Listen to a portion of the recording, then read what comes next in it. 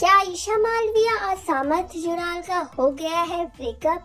Well खबरों में यही था कि आयशा और सामर एक दूसरे से अलग हो चुके हैं, लेकिन कुछ दिनों से दोनों ने एक दूसरे के साथ सेलिब्रेट नहीं किया वैलेंटाइन साथ ही साथ हमें ये भी देखने को मिला था कि ईशा और सामर कभी भी मीडिया के सामने या फिर वैसे पर्सनली हमें कहीं मिलते नज़र आए, ना ही कोई पोस्ट किया।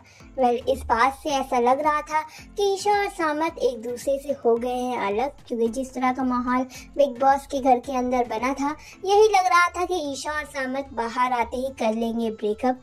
क्योंकि ईशा के पापा को सामर्थ नहीं आए थे पसंद जो कि वो बिग बॉस के घर के अंदर भी कहते नज़र आए थे। वहीं जब डांस दीवाने के सेट पर ईशा और सामर्थ आए अलग अलग तो ईशा और सामर्थ ने एक दूसरे से बात तक नहीं की। साथ ही साथ ईशा रेडी होकर बाहर आ गई और मीडिया के पूछने पर कि सामर्थ कहा है, ईशा ने कहा वो तैयार हो रहा है। जहाँ मीडिया ने ये बोला कि उन्हें बुला ले तो उसने कहा वो तैयार होकर आ जाएगा। वेल ईशा का ये कहना, साथ ही साथ ईशा का एक बार भी सामर्थ के साथ नज़र ना आना क्या ये है? ब्रेकअप र्यूमर की कहानी कि इनका ब्रेकअप हो चुका है। आपको क्या लगता है, क्या ईशा और सामर्थ हो चुके हैं अलग?